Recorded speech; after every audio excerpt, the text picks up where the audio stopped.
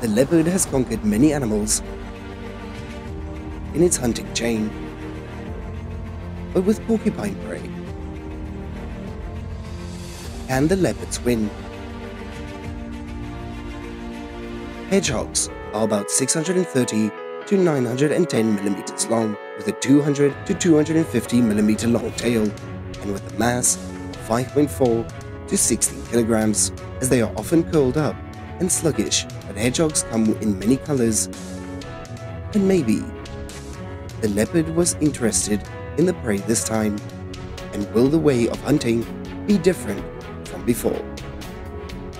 The leopards are walking and suddenly, the hedgehog had ran in front of him, and curious instincts had caught the leopard's attention.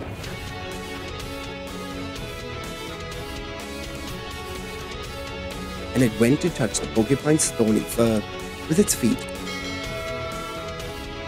As the leopard attacks a prey,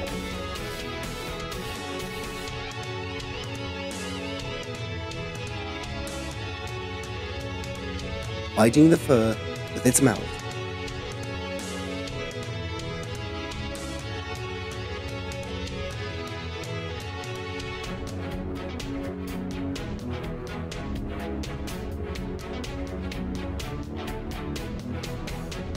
And it follows the prey. As the hedgehog, on the other hand,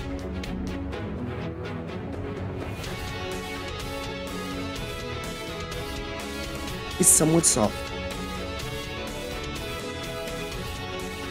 as it hides and it does not respond.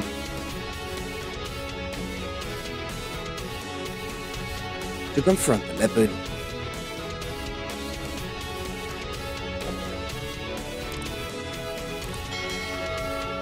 And the leopards are very difficult to control their prey.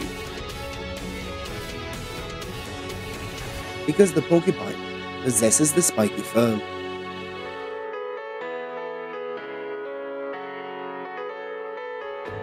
and luckily,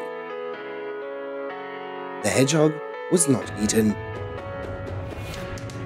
In a field, the leopards continued to encounter the porcupines, but this time, it approached the hedgehog more boldly. And moreover, it found the weak point of its prey. In the late night, it still follows the hedgehog closely, and the porcupine goes first, and the leopard follows.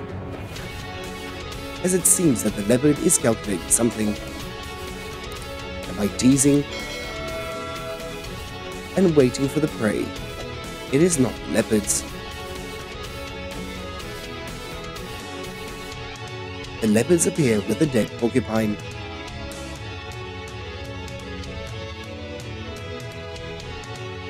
as it has defeated the target in its hunting sequence.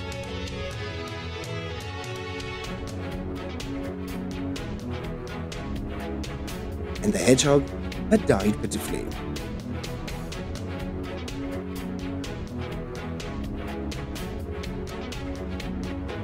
The leopards are still engrossed in the porcupine feathers, all over its body, They're covered with porcupine spines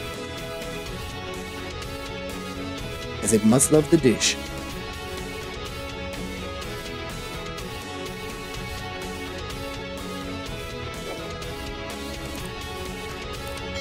Because it is a strange dish